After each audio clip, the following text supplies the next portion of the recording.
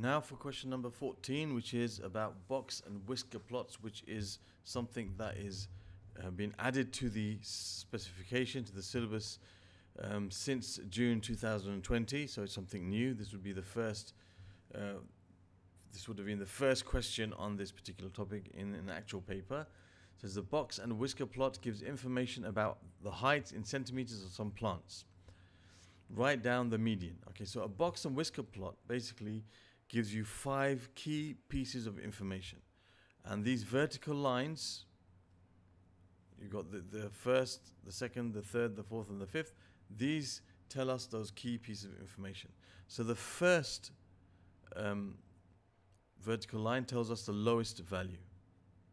And the last vertical line tells you the highest value of the numbers in the data. So that would be the height of the of that would be the, the height of the smallest you know the the smallest the shortest plant uh, yeah plant in the data that was there.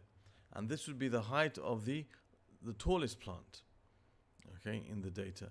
And these lines in, inside this box okay are what are called the lower quartile which is given by the symbol q1 and this is called the median which is q2 and this is called the upper quartile which is Q3. Now the median tells us the height of the plant which is right in the middle of all the data. The, the, the, the plant whose height is right in the middle of all the data, right in the middle. Okay, so there's 50% of the plants are, are shorter than it and the other 50% of the plants are taller than it. That's what it basically tells us. Okay, and the lower quartile here tells us um, basically the plant whose height is taller than 25% of the plants in the survey. So 25% of the plants are taller than it, uh, are sorry, shorter than it, and 75% of the plants are taller than it. And Q3 is the kind of the reverse. It's called the upper quartile.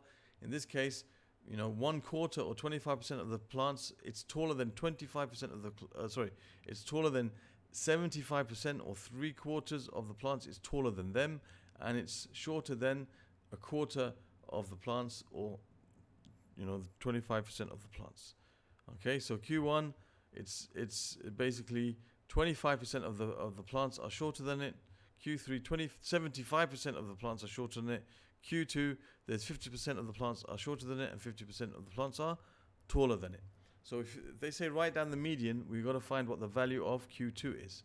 So it's about here. So we got to work out what that point is. Now this is 11, this is 12. It looks like it's 0.2 each one. 0.2, 0.4, 0.6, 0.8. Yes, it is. So that's going to be 11.5.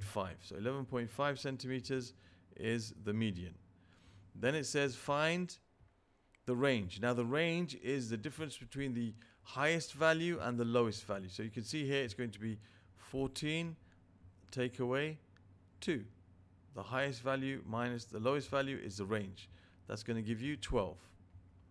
And then you've got to find the interquartile range. Now the interquartile range is basically the difference between the upper quartile and the lower quartile. So it's looking at the range within the 50% of the data in the middle of all the data. So it's Q3 minus Q1. Now Q3 is this is over here, so that looks like it's 13.5. 2, 4, 5, yes. 13.5 minus 5, which is going to be 8.5.